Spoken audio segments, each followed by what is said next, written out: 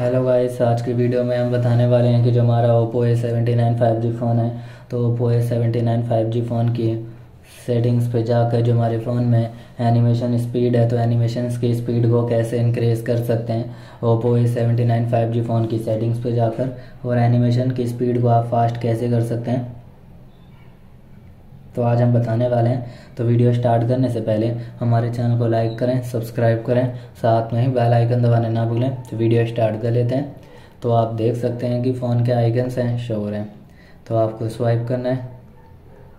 Swipe करते ही all icons open हो जाएँगे। ओपन हो जाएँगे। तो सिंपली आपके जो ऑल आइकन्स हैं ओपन हो गए।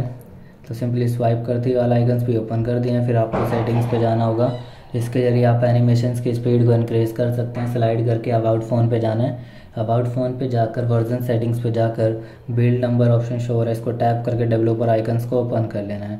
डेवलपर आइकन्स ओपन हो जाएगा, जिसमें से आपको जाना होगा सिस्टम सेटिंग्स में। तो सिस्टम सेटिंग्स है, इसको ओपन कर लेना इस तरीके से। फिर आपके पास ये ऑप्शन आएगा डेवलपर ऑप्शन तो इस पर जाना है। डेवलपर ऑप्शन सेटिंग्स से ओपन हो जाएगी, फिर आपको स्लाइड करना है। स्लाइड करते स्केल सेटिंग्स पे चले जाना है।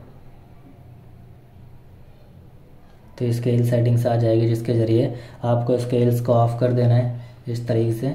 जब आप फ़ोन स्केल्स को ऑफ़ कर दोगे तो जो भी आपकी एनिमेशन की स्पीड है, आपके फ़ोन में इंक्रीज़ हो जाएगी और इसके बाद आपको बैकग्राउंड प्रोसेस लिमिट का ऑप्शन मिल जाएगा।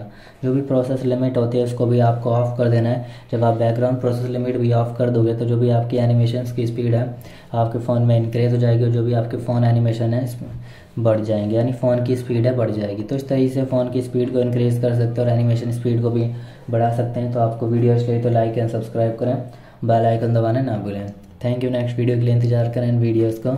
शेयर करें। Thank you